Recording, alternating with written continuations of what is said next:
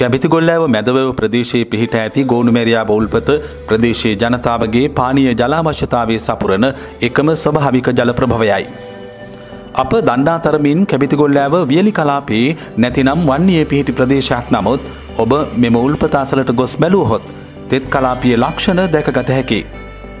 විශාල වටිනාකමකින් යුක්ත ජෛව විවිධත්ව පරිසරයක්ම වන ගෝනුමැරියාව උල්පත හා අවට ප්‍රදේශය තුළ ඇත්තේ මනස්කාන්ත පරිසර දර්ශනයක්.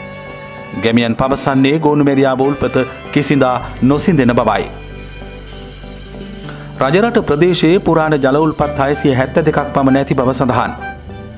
මෙයින් බොහොමයක් වැද්දාකන්දේ නාරම්භ වන බවත් එවැනි තවත් ස්භාවික ජලඋල්පතක් ලෙස ගෝනුමැරියාව උල්පත සලකන බවත් ජනතාව පවසයි. ජනප්‍රවාදවලට අනුව අතීතයේ රජවරුන් විසින් නිර්මිත වැව් විශාල ප්‍රමාණයක් සඳහා උල්පත්වලින් ජලය ලබාගත් බවද පැවසේ.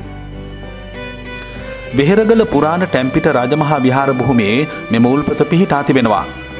උල්පත නිසාම මෙම විහාරය ගෝනුමැරියාව විහාරය හා දියබුබුල විහාරය යනු එඳ හඳුන්වයි.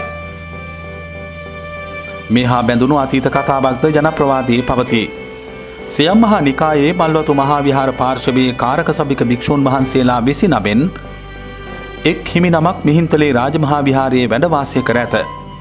පසුව උන්වහන්සේ බොහෝ දුෂ්කරතාවලින් පිරි මහ කැලේ මැදින් ගමන් කරන අතරවාරයේදී මෙම උල්පත දැක මාහට ඇති එකම සම්පත මේ බවසිතා මෙහි ආවාසගයක් සාදා එහි වැඩවාසය කළ බව සඳහන්. වෙනත් තුල්පත්වලට සාපේක්ෂව ගෝනුමැරයා බෞල්පත පොළොව මතුපිට පිහිටා තිබීම විශේෂත්වයක්. මෙහි ජලය මාතලේ නකල්ස් ප්‍රදේශයේ ජලයට සමාන බව පර්යේෂණ මගින් තහවුරු වී තිබේ.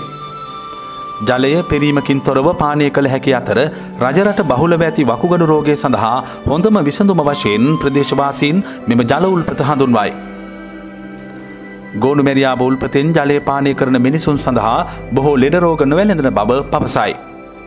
ඉතාමත් පිරිසිදු මෙම ජලය ප්‍රදේශයේ රාජ්‍යායත නිලධහරින් ගෝනුමැරියාව ගම මැදවැව ගම කෝලි බැන්ද වැව ගම ඇතුළු තවත් ප්‍රදේශ රැසක බොහෝ පිරිසකගේ පහස නිවාලයි.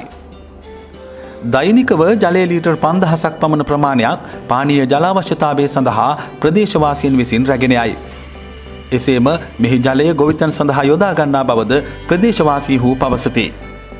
මීට වසර කිහිපයකට පෙර උතුරුමැද පලාත් සභාව මගින් උල්පතාසල කළුගල් නිර්මාණ හා ප්‍රවේශ මාර්ග සකසා මහජනතාවගේ පහසුව සඳහා ප්‍රතිසංස්කරණය සිදු කර තිබේ. රජරට සුවිශේෂී උරුමයක් වන මෙවැනි සම්පත් ආරක්ෂා කිරීම හා මතු පරපුරට දායාද කිරීම අප සැමගේ වගකීමක් මෙන්ම යුතුකමක්. ලෝකයේ ශ්‍රීග්‍රේන් දියුණුවත් පානීය ජලයට ආදේශකයක් තවමත් නැහැ. එසෙහෙයින් මෙවන් වූ උල්පත් ආරක්ෂා කිරීම අප කාගේත් වගකීමක්.